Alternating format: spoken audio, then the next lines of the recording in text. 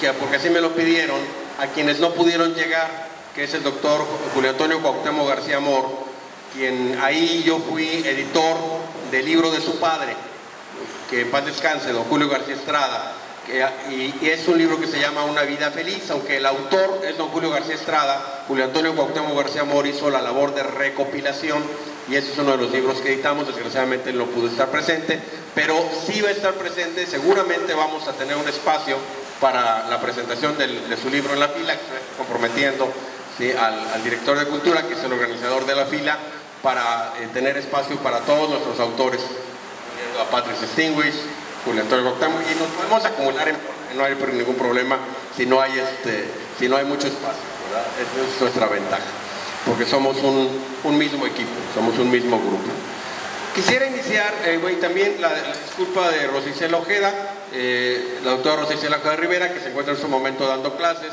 Ella ha sido editada por mí en sus artículos científicos, en sus artículos editoriales, y el plan es que le editemos un libro, igual como a, Luz Daniela Tello, que también está interesada en publicar y está interesada en que nosotros le editemos. Eh, ella está trabajando en un libro que se llama, bueno, la idea, ¿verdad? Hasta este momento, es un, es un título que sugirió Patrick precisamente en una reunión que tuvimos de tertulia, que se llamará De comunista a primera dama. Hay que recordar que la doctora Rosicel Ojeda pues fue secretaria general del Partido Comunista en la época en que era difícil para la mujer trabajar en política y en la época en que el Partido Comunista todavía era, era un partido que no estaba reconocido. Eh, que no, estaba, no era un partido legal. Y ella fue en ese tiempo secretaria general y bueno, después llegó a ser algo, bueno, el título de primera dama ella jamás lo aceptó, pero sí fue, de alguna manera, ¿verdad? Fue la esposa de quien fungió como gobernador del estado en ese año que vivimos el peligro, le llamo yo. ¿Qué es la edición de libros? Yo quisiera comenzar con una analogía que Areli Eunice, que es una gran pintora eh, su esposo, me lo van a entender perfectamente. Para mí, editar es igual escribir, es lo mismo que pintar. Cuando tú pintas te encuentras con un lienzo en blanco y sobre ese lienzo en blanco tienes que empezar a hacer las combinaciones de colores, a, hacer tu dibujo y a plasmar tu identidad, a plasmar lo que tú quieres. Escribir es lo mismo, escribir te encuentras con una página en blanco. Y esa página en blanco la tienes que llenar con tus ideas, con tus pensamientos, con una historia, con una historia que tienes que ir construyendo poco a poco, con una historia que en ocasiones hay que trabajar primero el final y después ir trabajando en el desarrollo de la misma. Y vamos a imaginarnos ahora que a Areli le llegara un cuadro ya pintado y ese cuadro tuviera ella que de alguna manera transformarlo o tratar de mejorarlo. No es algo sencillo. A veces es más fácil hacerlo desde el principio, hacerlo nuevo. Pero esto es en lo que nos encontramos los editores. Tenemos que trabajar con un material previo, un material que nosotros no hicimos. Y nosotros tenemos que hacer dos cosas. Uno, convertir ese trabajo en un, en un escrito profesional, en un escrito que no tenga tacha, que se pueda leer bien y que pueda en un momento dado ser agradable a la lectura. El editor, el traductor, tiene mucho que ver en el desarrollo de la obra. Hoy un amigo que llegó precisamente de la Feria Internacional del Libro de Guadalajara eh, traía en sus manos una edición de Edgar Allan Poe de Narraciones Extraordinarias y le digo, mira, si la compraste en español, porque lo ideal es leer el idioma original, pero pues no todos tenemos la posibilidad de hacerlo. Eh, si, lo, si compraste la edición en español, y vi que así era, digo, espero que hayas comprado la traducción de Julio Cortázar, porque la traducción de Julio Cortázar le da un valor adicional todavía a la obra de Edgar Allan Poe. Y es ahí donde el traductor, el editor, tiene mucho que ver, y por eso hablo de esta aleación. El acero es una aleación finalmente de metales que convierte el resultado en un metal mucho más fuerte, mucho más resistente. Y esto es lo que nosotros debemos de hacer como editores. Y algo muy importante, tenemos que respetar el estilo personal de la escritura del autor. Porque si le metemos mano de más, pues podemos caer ya en la coautoría y de hacer un libro donde el autor ya no se va a ver reflejado o ya no se va a ver identificado. Y bueno, eso es lo que nosotros tratamos de hacer. Nosotros tratamos, la edición tiene muchos, muchas, eh, muchas aristas. Tenemos que preparar un libro y se prepara desde lo que es la portada, que dicen que nunca hay que juzgar un libro por la portada. Sin embargo, yo les aseguro que la chica Raleigh, mucho de sus ventas también, aparte de obvia la firma de Julio Zenón, ha sido esta portada, portada que hizo Julio César Olea, donde pues se ve a una chica que emana ¿no? del, cigarro. Y cuando hablamos de la chica Raleigh, pues hay una buena analogía. Eh, y la presentación con de la contraportada donde está la foto del autor, comentarios. Esta, esta que es eh, más, más sencilla tal vez, pero no por eso menos impactante, Pacífica, de Patrick Steen, que nos hace el favor aquí de acompañarnos a mi derecha. Bueno, también es una muy buena portada y aunque no se juzga el libro por la portada, sí te lo vuelve atractivo para que en un momento dado te acerques a él leas las solapas, leas lo que se escribe sobre el libro eh, y empieces a conocer un poco del autor. ¿Quién requiere edición? Todos y cada uno de los escritores.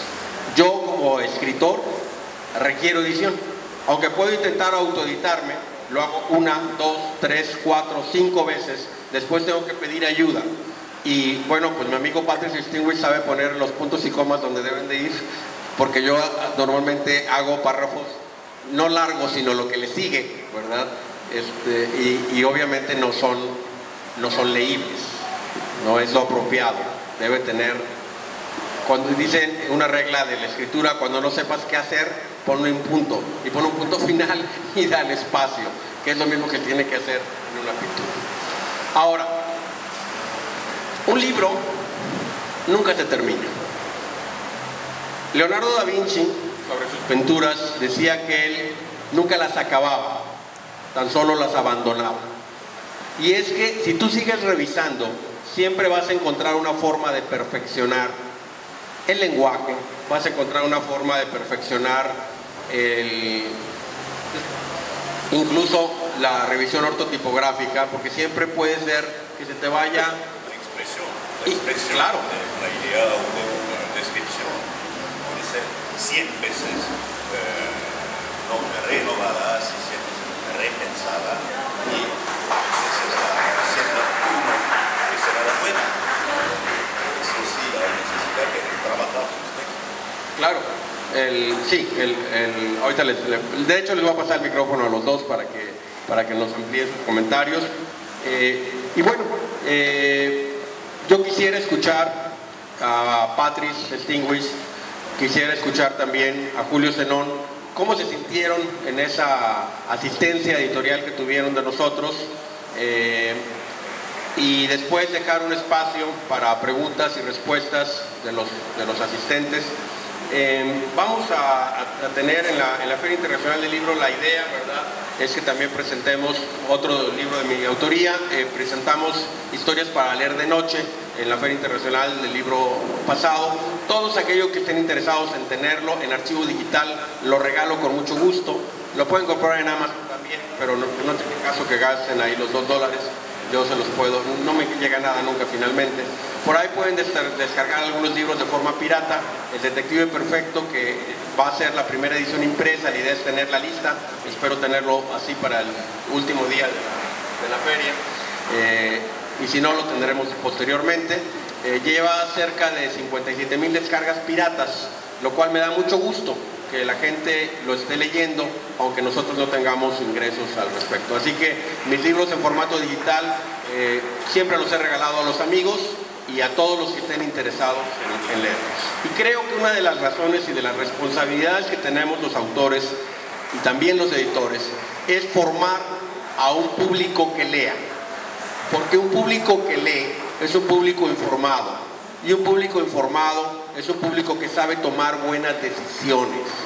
y tenemos la necesidad impostergable, no de mañana, de hoy, de tomar buenas decisiones en lo que todo, en todo lo que esté a nuestro alcance. Y para eso lo que requerimos es que los jóvenes sobre todo, y me da mucho gusto ver jóvenes aquí y ver a todos mis amigos y a mis familiares y a mi sobrina y a mi compañera de este, en el doctorado, eh, y a mi sobrino también, que, que, estén aquí presentes, porque solamente leyendo podemos conocer otros mundos. George R. R. Martin, que es un autor al que yo admiro mucho y que no me pierdo aparte su adaptación de Game of Thrones en HBO, valga el comercial, eh, tiene una frase que me gustaría citar. Eh, un no lector vive solamente una vida antes de morir. Un lector vive mil de ellas. Y con esto doy por terminada la charla eh, y pasaría el micrófono, no sé quién, Julio, tú primero. Eh, para que nos platiquen sobre la edición de su libro, eh, su experiencia. Yo quisiera nada más comentar que estuvimos hasta las 4 o 5 de la mañana maquetando, ¿verdad? el primer contacto con la chica Riley quiero reconocer, aquí no hay, hay cero corrección de estilo, el, el texto está tal y como él lo, lo, lo presenta y fue la verdad muy interesante. Bueno. No digo más. Adelante. Muchas gracias Enrique, muy buenas tardes a todos ustedes, gracias por estar aquí presente. Sí, fue una experiencia eh, maravillosa. Yo he editado con este cuatro o cinco libros, pero es el primero en el que me meto a la edición, porque eh, lo hice, o sea, me metí, me dio oportunidad Enrique a platicarlo, a estar con él, a este, trabajar la edición yo realmente no sabía lo que es editar un libro. Yo he editado, pero la páginas de periódicos, por ejemplo, o páginas de revistas, cosa que es muy diferente a editar un libro. Para poder editar un libro, yo creo que la mayoría de los acapulqueños, en Acapulco mucha gente que escribe, mucha gente, pero muy pocos, muy pocos llegan a editar. ¿Por qué? Porque todo el mundo tiene ideas, pensamientos, poemas, poemas o, fotos que recopilan, pero los va cortando. Si yo, por ejemplo, editara todo lo que he escrito, no serían cuatro o cinco libros, serían, no sé, 20, 50. Pero siempre uno, eh, cuando escribe, no sabe, no sabe cuál es el camino, por dónde acercarse, cómo hacer un libro. Yo, en el año y medio que llevo en la Dirección de Cultura, he recibido muchas muchas preguntas y muchas eh, peticiones de apoyo, muchas veces nada más para que les revise, otras veces para que les diga cómo pueden ellos publicar. Lo, he recibido. Y el único proceso que conocí de edición fue el que hice con Enrique. Nosotros este, nos han hecho las editoriales, mi participación, yo les he entregado el material, no me doy cuenta qué hacen. Y aquí sí me di cuenta del trabajo eh, se mantiene efectivamente completamente mi estilo, sin embargo la ortografía sí fue revisada este, completamente, completamente. Muchas veces, yo creo que la mayoría de la gente que escribimos no tenemos buena ortografía, la mayoría, por, por descuido simplemente. Yo digo, por ejemplo, en lo personal yo me conozco todas las reglas de ortografía, podría decir, me actualizo, etc. Pero cuando yo me escribo y me leo, Después me doy cuenta que tengo errores. ¿Por qué? Si conozco las reglas de ortografía. Simple porque no reviso, porque creo que todo está bien. Y, eso, por ejemplo, se refleja, por ejemplo, lo escribimos alguna vez en un periódico, al día siguiente cuando nos leemos en el periódico encontramos los errores y hasta a veces el editor nos, encierra en, en un círculo rojo y nos dice, mira nada más el error que cometiste. Y uno cree cuando lo escribe, está escribiendo bien. Es que uno a veces no detecta sus propios errores. Uno cree que ya sabes, que ya sabes y hasta debates. ¿no? Yo debato que, fue bueno para la ortografía y otro que dice que también es bueno, debatimos. Pero la realidad es que sepamos o no las reglas, la mayoría de los errores son de dedo, no revisamos, pero siempre tiene que haber otra persona que revise, no una, sino dos, tres, cuatro, cinco veces. Este, yo tenía que entregarla ya y no quedaba y no quedaba. Y, finalmente fue, eh, digamos que, una gran satisfacción que Enrique no solamente me ayudó a ver la edición física, que fueron mil ejemplares, de los cuales quedan todavía unos 200, es decir, se ha vendido bien. Este, porque los 200 que quedan es que ya no pude, por ejemplo, resurgir los puestos de revistas de aquí de, de, Acapulco, donde coloqué eh, en paquetes de 10 a 15 libros en casi todos los puestos de la costera, se acabaron. Y en, este, en internet sí, o sea, no solamente fue la edición física, sino que él me hizo la edición para, para Amazon, de la que efectivamente no he recibido ni un peso, pero igual que él, pero tengo el reporte de que ha estado muy, tiene por ejemplo cinco estrellas en ventas en, más de cinco librerías de Inglaterra, así mismo en, España, en Alemania, el precio ha variado, ha subido mucho, de repente entró en 2 dólares y de repente está en 50 dólares, euros, euros, o sea, se ha disparado, este, veo, veo porque yo me doy seguimiento por internet, Veo que, por ejemplo, lo ofrecen con, este, con sobreprecio de España para llevarlo a, otro país, en mismo Europa, ¿no? O sea, está teniendo buena venta en Europa, en Internet. Mi hija, que vive en San Francisco, tengo una hija mayor ya, lo compró por Internet en, San Francisco, California, Estados Unidos. Y eh, una amiga mía que está en Barcelona también. O sea, se, ha tenido más salida por Internet. Pero desgraciadamente, y es un punto que deberíamos de analizar después, porque me gusta escribir, es cómo es que de las ventas de internet no recibimos nada. O sea, no sé, eh, ahí nuestro editor tenía que rendirnos cuentas. ¿Por qué no recibimos ni un peso de las ventas de, internet, que es donde de verdad más, este, más ventas ha tenido?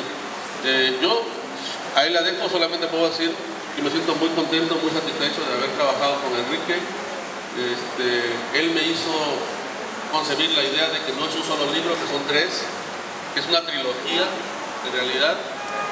No he podido escribir los otros dos, porque desafortunadamente el periodismo es este, sí absorbente, pero la dirección de cultura es mucho, mucho, mucho más, mucho más exigente y no me ha permitido, además de que por cuestión de ética también no puedo eh, pues editar, ¿no? siendo funcionario público, porque se podría pensar que estoy usando el tiempo que debería estar trabajando para escribir y usando los recursos o el dinero este, de la Dirección de Cultura para auto, este, para, mi, para mi propia obra, ¿no? Entonces estoy en stand-by, pero yo espero, Dios mediante, entregar el año que viene mi puesto y volver a escribir.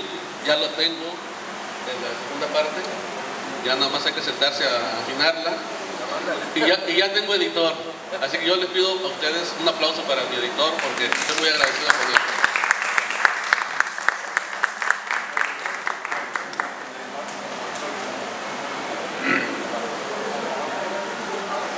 Bueno, el, tema, el tema es el mundo, los asuntos editoriales. No olvidar que el mundo editorial es una industria antes de todo. Es una industria que cuesta trabajo, tiempo, talento ah, para, eh, para empezar, para encontrar las buenas ideas. Después para fabricarlas, para ponerlas en papel. Después para moverlas, venderlas, promoverlas.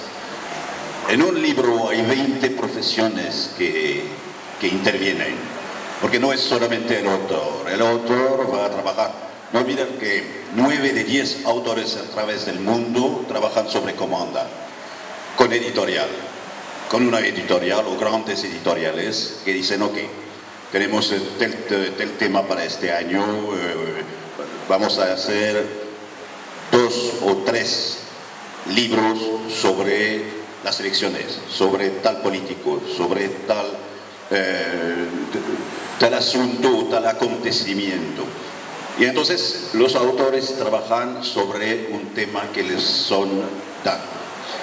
La mayor parte empezaron así. un buen autor va a proponer buenas ideas a su editor. Y entonces va a empezar a trabajar el texto.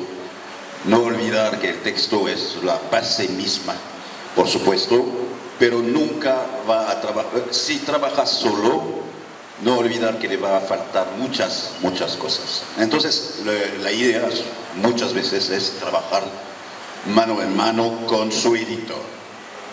Después su revisor. Después porque cuando manejamos un millón de palabras en un solo, una sola obra, por supuesto que hay un montón de posibilidades de errores. Lo sabemos, lo vemos al releerse a veces. Dejamos pasar incluso cuando somos muy profesionales y muy atentos a cualquier cosa. Yo revisé libros de Enrique ah, dos días antes de ir a la imprenta y encontré 2.400 errores solo libro. Me permito decirlo porque tú estás aquí y es verdad. Bien.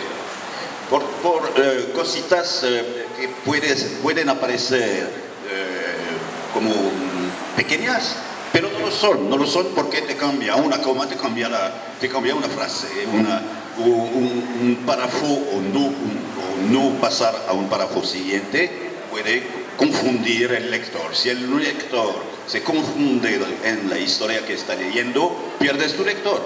Entonces no te vale. Es tan sencillo. Entonces, no olvidar nunca tampoco que cada frase debe tener su utilidad en el desarrollo de la historia. Eso es el profesionalismo del autor y del periodista. Y el periodista tiene también la otra mala, mala suerte, entre comillas, de no tener espacio, ni tener espacio ni tiempo. Yo me recuerdo pasando de, un, de una noticiera, de una agencia noticiera a un periódico diario, qué maravilla, teníamos una hora para hacer 50 líneas. Cuando en una noticiera tenemos 12 minutos, y a 13 minutos te tiran el papel de la máquina para mandar. Y cuando pasamos a un semanal, por ejemplo, qué maravilla, tenemos tres días para hacer un texto, es una maravilla. Un libro, tenemos 10 años si queremos.